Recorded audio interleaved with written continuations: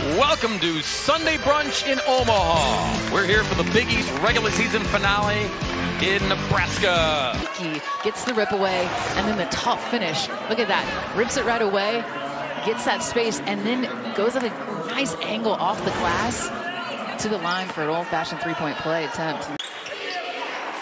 Popping the three. Morris. There's Morrow. And that's what she does, Joe. She crashes the glass, especially the offensive side. Everybody from top to bottom can handle the ball, can shoot as well. Oh, that's a given. Both these teams have the green light.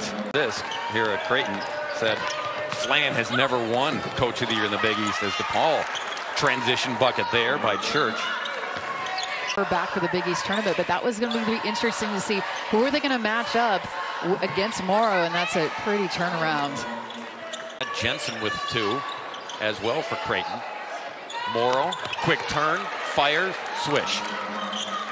Rimbaud isn't always a, a, shoot first, but create her own shot, but that was big. And then finally, Morris able to find the bottom of the basket.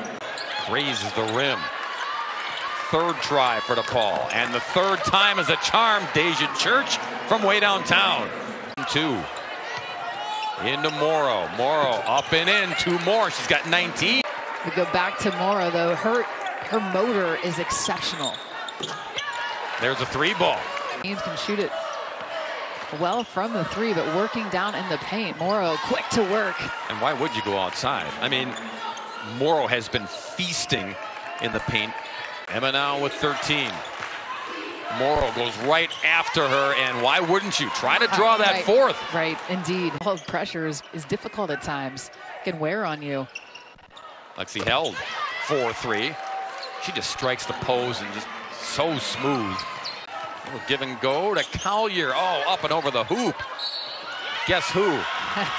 on the putback and the foul. And the way, reason why that play worked is everybody was paying attention to Morrow and then just slips for DePaul to get some separation. Morrow, another board. Tell me if you've heard this before. and a putback for another two. We knew that DePaul wasn't super deep, but give credit to Creighton. And then a three knocked down there at a big critical time by Rogers.